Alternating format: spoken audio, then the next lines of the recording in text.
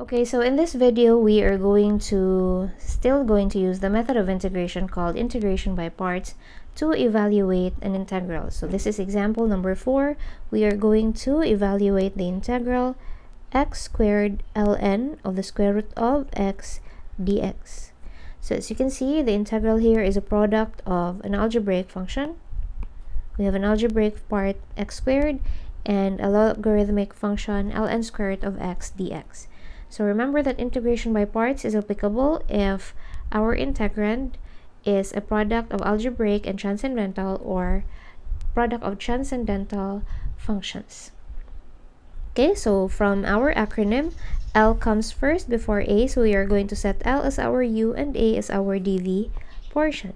So we let U be equal to ln square root of x.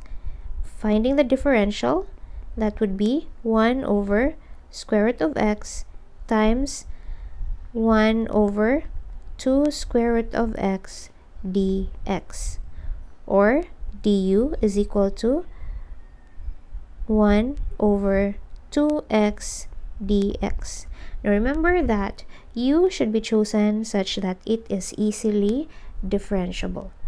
Now our dv portion, dv portion is the algebraic part x squared dx. So dv should be chosen such that it is easily integrated. We are going to integrate that. Integrating v is equal to 1 third x cubed.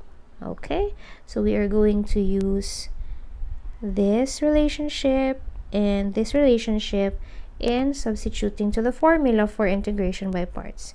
So we have u.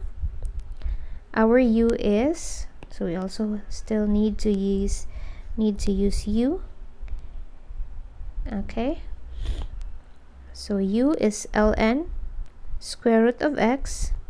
V is one third x cubed minus the integral of v which is one third x cubed times that's v du which is 1 over 2x dx okay? That's u v minus integral of v du okay that's the formula.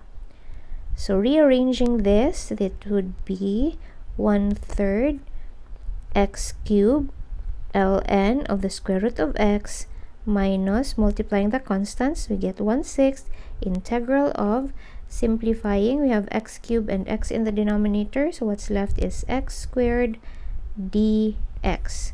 So that is already integrable.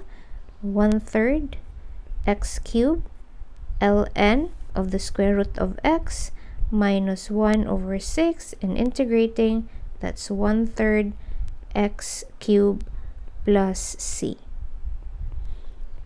1 third x cubed ln of the square root of x minus 1 over 18 x cubed plus c. And that is our final answer. So this example is a product of algebraic and logarithmic function. We are going to solve another case in the next video.